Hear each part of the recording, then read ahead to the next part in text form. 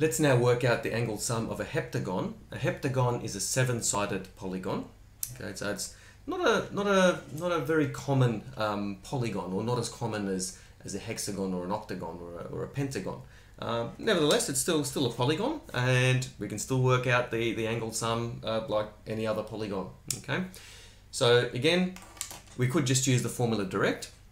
Okay, so angle sum would be okay, is equal to the number of sides. Okay, so we've got seven sides. Multiply that by 180 degrees. So, and then we'll look at, okay, so very much like the, the pentagon example. Okay, why is it the number of sides? It's because we can break this shape up into seven triangles. Okay, and each one of these triangles, okay, is an angle sum of 180 degrees. And we, we have seven of these triangles. But remember, the angles in the center, these ones here in blue, okay, they don't count. So they need to be subtracted out, okay?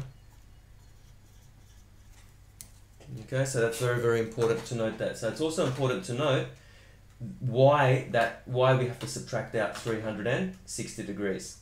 Okay, so the final answer is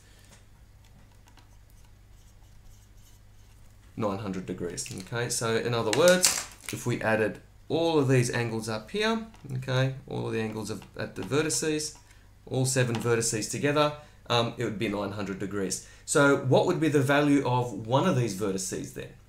Okay, so assuming it's a, it's a regular heptagon,